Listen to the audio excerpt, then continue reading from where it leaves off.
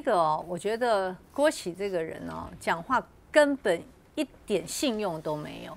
比如说徐小新，嗯，公布他的录音带，那你针对录音带你讲啊，到底是怎么回事？就你说什么他什么越越越长越长越老，你到底是什么回应啊？我我觉得莫名其妙。因为郭喜从一开始在整个他指控马文君所谓的卖国卖国贼之后，他这个流弹四射哈，包含李喜明啊前参谋总长也也指控，那现在又指控那个陈长文哈说什么是他党潜见的，那我想啊，就说。今天郭喜他还有没有任何的信用可言呢？这个已经是完全是可受公平的事情。那他自己无所谓，反正他就是在那边制造声量。他听说他现在一一天可以上十几个节目，因为他他讲话的这个戏剧效果很好，娱乐效果很好。然后反正呢，他东扯西扯，然后扯一些这个候选人，他选是。无所谓，他自自己讲，他也不要当政治人物。但是问题是，马文君是现任现任的立委，而且正在参选中。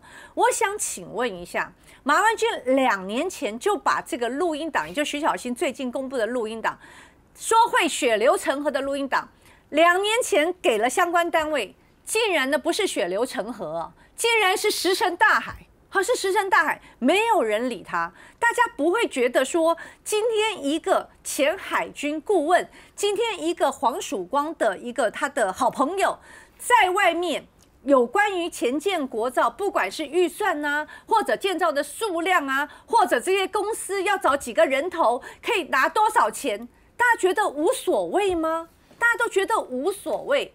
那我们前建国造原来程序是如此吗？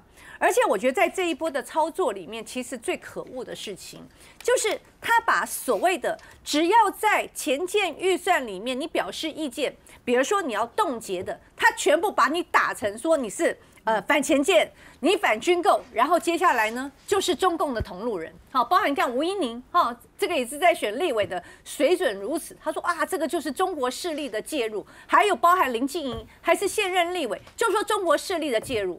我想请问一下，立委难道不能审查预算吗？今天坐在我对面两位立委比我还要资深，大家都知道，在整个的预算审查过程里面。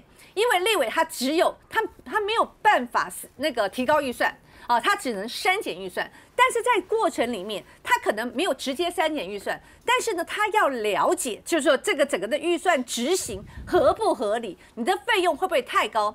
那像在这次绿营侧翼里面点名的几个什么什么江启臣啊、温玉霞啊、什么马文君等等，温玉霞委员就跟我讲说，他当时为什么冻？冻结预算，因为在去年的时候，我讲很多人不知道，去年日本也有一个前舰下水，哈，也是下水，然后也是三千吨，它的造价是多少钱？和台币一百五十亿。那大家都知道，我们这次的前舰是五百亿，所以他想了解一下，为什么日本的前舰也是下水一百五十亿，那我们的前舰为什么贵？好，贵在哪里？然后请这个国防部相关单位要跟他说明，所以他冻结预算。请问一下，这个不是一个立委在执行监督预算一个非常合理的程序吗？而且所谓的预算程序，大家都知道，现在民进党的立委啊，不超过半数，哈，完全制霸立法院。请问一下，在野党就算冻结预算，他真的能删吗？他一毛也删不了啊！所以你今天要用这种方式。基本上就是在做政治操作，基本上就在选举操作。然后我觉得非常恶劣的是，你因为要做选举操作，你践踏了立法院的预算审查权，你也阉割了在野党对于预算的一个审查权。可以这样子吗？他如果审查，如果连审查都不能审查，不能表示意见，不能冻结，请你说明一下。那请问以以后在这个执政党，你千秋万世嘛？你爱爱爱编什么预算就编什么预算，立法院关门算了。所以在这一次的操作里面，充满了太多的选举权谋，真的是为了全建国造好吗？现在慢慢暴露出来的这些稍微的所有的讯息，这里面到底有多少猫腻，才是真的应该去追查的？想看最完整的新闻内容，记得下载 TVBS 新闻网 APP。